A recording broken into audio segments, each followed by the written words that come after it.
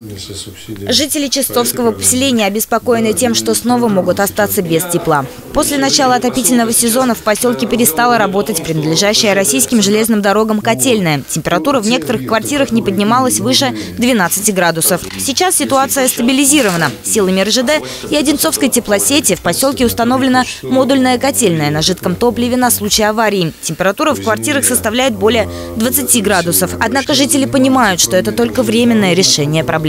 Разговор идет о том, что ЖД собираются вообще на следующий год уйдут. А что с нами дальше будет? Вот.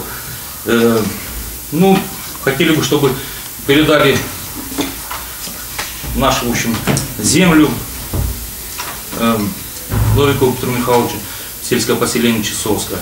Потому что как будем дальше, я даже не знаю.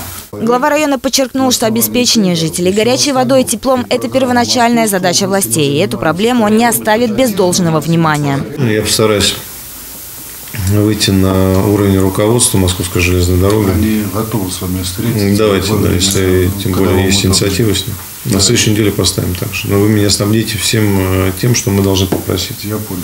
в жесткой форме. Чтобы жителей полноценно уже обслуживать.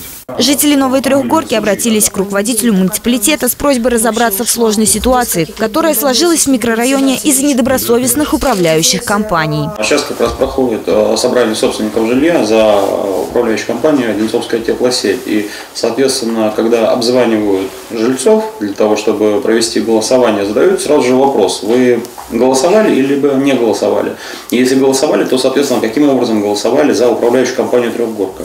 И процентов 70 жителей говорят, что они вот э, только по данному звонку узнали о том, что идут какие-то выборы управляющей компании, и то, что будет какая-то смена управляющей компании. Андрей Иванов попросил прокуратуру Одинцовского района немедленно заняться этой проблемой. Прокурор Юрий Чижов пообещал, что совместно с УВД в ближайшее время по факту фальсификации будет проведена проверка. Мы обязательно запросим на протоколы и установим собственников, которые, если хотят написать заявление, напишут. Мы с межмуниципальным управлением Одинцовская совместно отработаем.